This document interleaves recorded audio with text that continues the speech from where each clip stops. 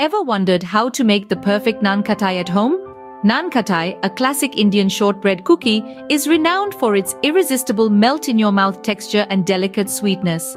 This delectable treat is crafted from a harmonious blend of all-purpose flour, gram flour, ghee, and powdered sugar.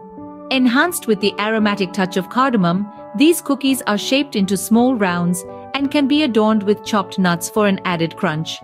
Baked to golden perfection, naan khatai is a beloved accompaniment to tea or coffee, offering a delightful balance of simplicity and indulgence in every bite. To begin, preheat your oven to 350 degrees Fahrenheit. Line a baking tray with parchment paper or lightly grease it. In a bowl, sieve together the all-purpose flour and gram flour. This helps in making the naan khatai light and airy. Next, in a separate large mixing bowl, Cream together the softened ghee and powdered sugar until the mixture becomes light and fluffy. This may take about 5 to 7 minutes. Then add the sieved flours, baking soda, cardamom powder, and a pinch of salt to the creamed ghee sugar mixture. Gently mix all the ingredients until a soft and smooth dough forms. Do not over knead, just ensure that everything is well combined. Take small portions of the dough and shape them into small round balls. You can flatten them slightly with your palms or press them with the back of a fork to create a pattern on top.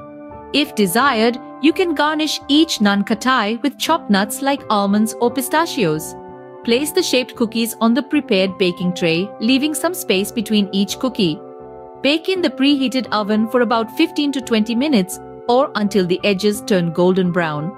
Allow the naan khatai to cool on the baking tray for a few minutes then transfer them to a wire rack to cool completely. Once completely cooled, store the naan khatai in an airtight container.